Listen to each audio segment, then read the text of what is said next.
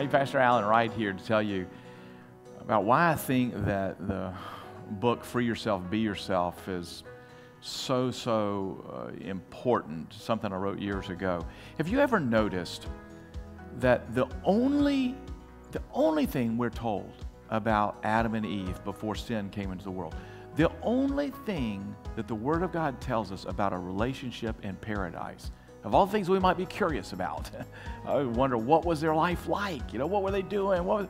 But this is all we're told, as if this is the only thing that matters. Know this they were naked and they were not ashamed. Paradise is the place where there's no shame. But as soon as sin entered the world, they immediately began hiding from one another, hiding from God, and they were afraid because they were ashamed. The story of the redemption of God, in many ways, is not just about what God did to take on our guilt through the penalty of the cross, but what He's done to bear our shame. You know, so interesting to me that I had grown up, gone to college, gone through seminary, done youth ministry, and was several years into the ministry before I even knew what shame was. And one day a Christian counselor was telling me, shame is simply a lie that says that you don't measure up, and until you can do something to make yourself more acceptable, you'll never be fully loved. That's what shame is. Shame is the withholding of approval and acceptance until you prove yourself.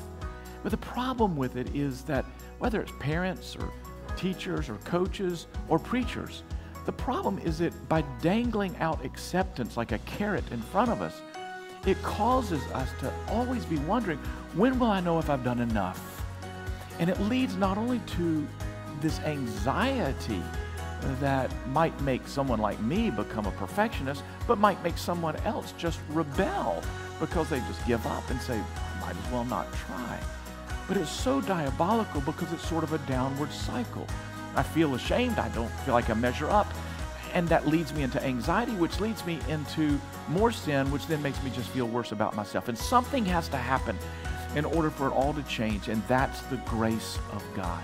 Free yourself, be yourself, formerly called Shame Off You, is a telling not only of my own story, but of the power of the gospel to liberate you from the toxic effects of shame.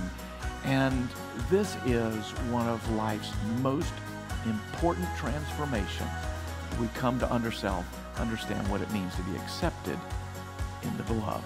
For yourself, be yourself. It happens by God's grace.